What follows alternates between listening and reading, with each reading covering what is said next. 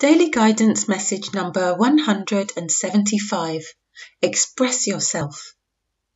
An important aspect of your personal self expression is calling out to be a part of your life once again. Whether you are a musician, a writer, a painter, a dancer, a photographer, speaker, teacher, or someone who finds great peace and wisdom in meditation or journaling, it's time for you to reconnect with one of the many ways your soul has chosen to speak to you, or to speak through you to the rest of the world. Express yourself and rediscover the joy of being you.